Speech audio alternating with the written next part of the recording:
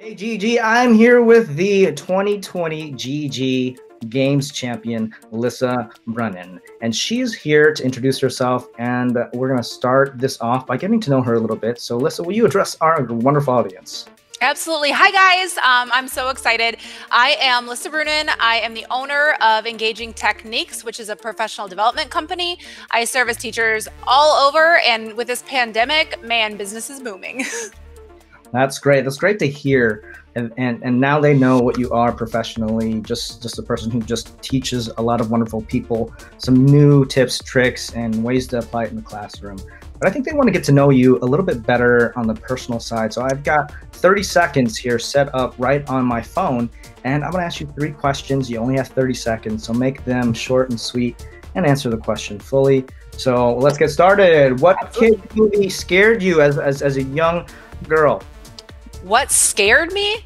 Oh man, being alone. Um, I was terrified to be home alone. I lived on a farm and there was nobody in sight for like a mile on each side. So anytime my parents would leave and I'd hear a noise, I'd get scared. So being alone.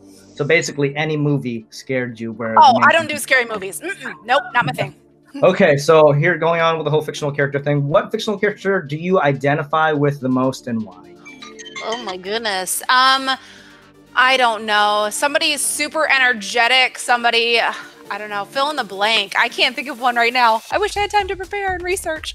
Oh, no, this is all on the cusp. Okay, so next question What two items would you take with you if you got shipwrecked on a deserted island where all your food and water needs were taken care of? Oh my gosh. Well, so my Wi Fi hotspot and then something to be able to communicate. I think with my area of expertise, I think those are my survival mode. I'd figure out food and water and all that stuff. I've seen enough survivor shows. All right. So, you know, our champion just 30 seconds longer than you did before. We gave her a little bit more time because I kind of put this on her last minute. But anyway, uh, some real talk here with the GEG games. What was it like participating in the GEG games? It was awesome. Like, it's an awesome idea because I think in this day and age, especially with teachers having so much on them, I think having these short videos that really get to the point, give them something to learn that's maybe new or that they forgot, um, was really, really fun. And to participate was awesome, but it was also great to see other colleagues share different ideas that they use because I picked up some stuff from them, just like a couple of them said they didn't know my tip or trick, which was really awesome. Yeah, and you went up against some stiff competition. We had some fun videos. We had some really great tips and tricks that I didn't even know of, and and, and just a lot of variety, I would say, and um, great stuff for your designers, your creators, your practicals, and just some hidden stuff that you never knew. So um, yeah, again, if I, I can't thank all of you enough. Uh, but that was great that you um, were able to participate.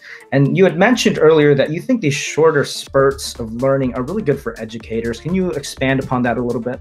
Absolutely. So there's been so many YouTube videos that I like the title and I, I'm excited about kind of learning about it, but then they're 10 minute videos, right? So I'm I'm doing either a scrub, trying to find that point, or I'm speeding up the video by using the speed feature, just trying to watch it real quick and grab that piece. But like two minutes or less, I can sit there and kind of absorb. And I know that limits people to get to the point. So I love that. They're little short things and it gives your mind a break to kind of process and then go try and apply and then come back and learn something new. Oh yeah, for sure. And if it's a quality short two minute video, you can rewatch it and you can pause it, play it, and and it's not too cumbersome because it isn't ten minutes long. You don't have to spend a lot of time scrubbing through it and searching for the right moment. Um, excellent. So uh, thanks for your thoughts on that. And then one final thing you could leave our audience: What's one piece of advice you would give educators uh, during this time?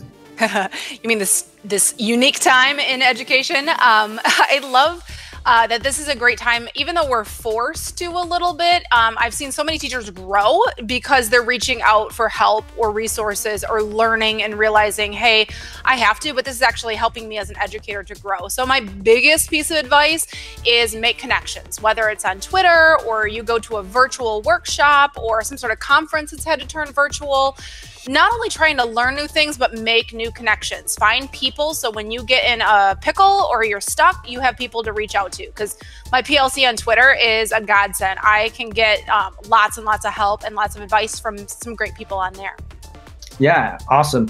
Definitely agree with everything you said. That was a great piece of advice. And uh, thanks for your time. If you've not followed Lissa on Twitter, her handle is right in the description of the video and the rest of our competitors as well as their videos. So thanks for joining us today. And thanks everyone for watching the GEG games this year. It's the first time we did it. We have the inaugural champion right here and she's going to get some Google swag and whatever else we can send her. So yeah. All right. Um, thanks for joining us again.